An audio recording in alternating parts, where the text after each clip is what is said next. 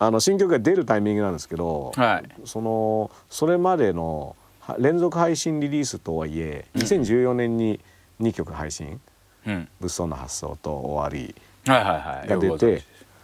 そっから実は2年経ってるんですけど、まあ間1年空いちゃったね。うん、まあ中中1年、うん。まあ何してたんですか？去年はねギドラの20周年で空からの力をいろいろこう作あるうでしたね。るじゃないあのうん。演奏するあのそういうー期間だった。なんかその期間って結構20年20周年ではギドラモードにマインドは行く感じなんですか？ギドラギドラで新曲作ろうみたいな話もしてて、うんうん。でまあそういう話も少しずつ進めながらも、でもそれ前に自分のまず出さないとねっていうところで、あるはあるんですか？じゃあ KDR のギドラ？ギドラの次っていうのは。を今みんな、あの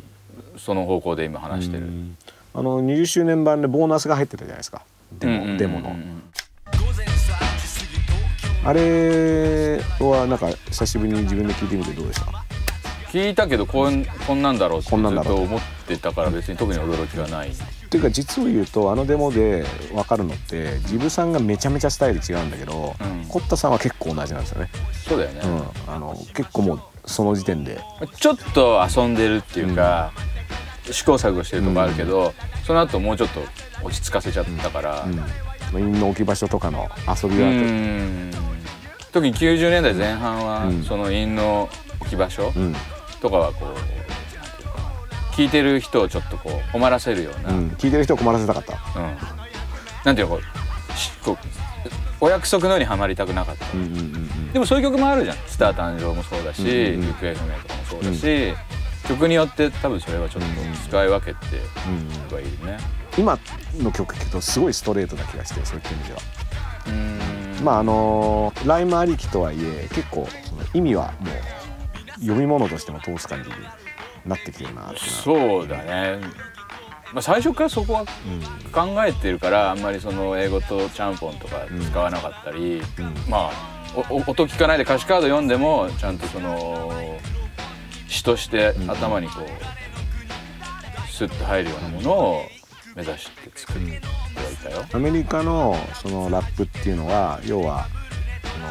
そのむ英語が分かる人にしてみればもう全部意味が分かることを歌ってるってことですうよね、ん。そのラップだけで聞いてちゃんと何の話をしてるのかっていうのがそうだね程度分かるっていうのがまあその向こう言ってることで売れてるねアメリカのラップは。そこはやっぱり日本のヒップホップの受け方って日本でアメリカのヒップホップを聞いてやべえって言ってる人って音だけで基本的にはリリックわかんないで聞いてる人が大部分で、でそういう意味ではそのちゃんぽんラップよりも、うん。まああのフリースタイルバトルの方が、うん。お互いに言ってることが通じないとうん。進まないから、うん。そこは俺はあのフリースタイルの功績。こ功績だと思うね。まあ、1年間そのディドラモードだったっていうので間が空いてまあ2年ぶりの曲リリースになったんですけどで物騒な発想から流れで聞くと、まあ、なんかいろいろこうあの今言いたいことっていうのがある感じがするんですけど、まあ、例えばコッタさんの場合アメリカにもいたわけだけど、まあ、今大統領選とかでにに関してどう何が起こってると思います？あれ。今アメリカでは。一言で言えないけど。うーん。本音がどんどん出てきてるんじゃない、その国民のっていうかそういううん、差別、うん。でもそれは多分、まあ、アメリカのまあ歴史の中で、今どんどんそのもともとのマイノリティ側が増えてって、でいわゆるホワイト、白人が、まあ、割合的には減っていく方向になってるじゃない、それはもう止まらないでしょ、そういうところでやっぱりその白人がマイノリティになってしまうっていう不安とかから、あの憎しみに変わったり差別になってたりしてるんじゃないかなっていうのがまあそのアメリカが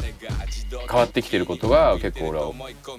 きいのかなと思うね。トランプを支持するような白人とかは、まあ南部とかの人が多いんだとしてそうするとやっぱり過去自分の先祖とかが奴隷とかにどういうことしてきたかっていうのも知ってるから、きっとこれは復讐されんじゃないかってどうしても思っちゃうんだと思うね。それがあの多分警察の必要以上の黒人に対しての暴力だったり、ああいう不当な裁判だったり。してるんだと思うんだけどねアメリカの場合ヒップホップアーティストってそういった事件が起こる時の反応がすごい早いっていうかまあすぐに意見を述べたり、まあ、曲にして出したりとか、あのアクションすると思うんですけど日本の場合って、まあ、ラッパーに今意見聞くっていう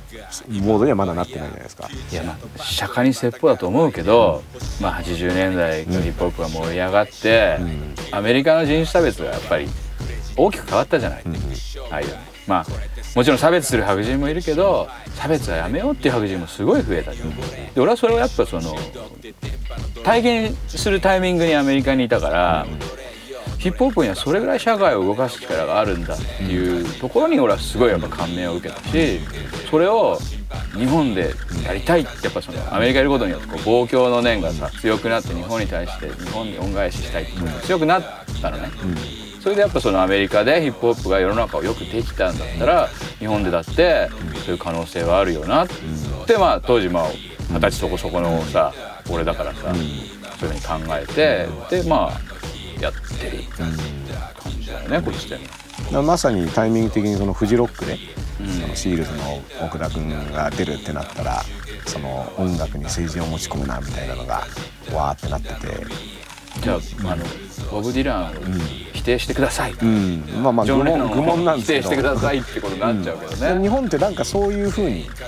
切り分けたがる政治じゃないから社会だから、うん、社会をどうよくしていくでそれに対して社会の中に住んでる俺たちが、社会に対して音楽を発信してるっていうだけで、いちいちそこ政治ってくっつけなくてもいいと思うよ、まあ、政治っていう言葉にすることでみんなちょっとアレルギーが出てくるうん。俺別にポリティカルって言われるよりはコンシャスって言われたいし、そういうふうに分けた方がいいと思うな。なんかだから言葉の上でのいろいろ混乱がいっぱいあると思うな、日本の。そうそう、うんラップっていうものっていろんなことが本当は言えることだと思うんですけど、うん、その辺は結構そのテーマ決めっていうのは堀田さんの場合どうやって決めてます。次のアルバムで全体でこういうことが言いたいなっていうのがぼんやり浮かんだのを少しずつ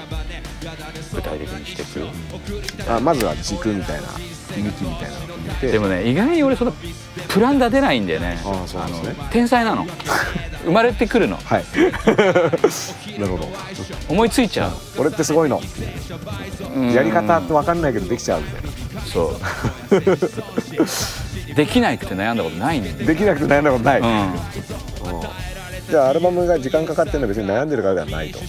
うん。あのやる気がしないとか やる気がしなかった。あの打っても響かないんなら出すこと意味ないかなとか。でも、まあ、いよいよでもアルバム出すぞってなった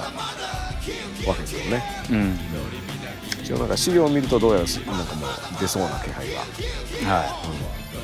うん、今年出せないからポンコツだね。言いましたね。今年出さなきゃポンコツ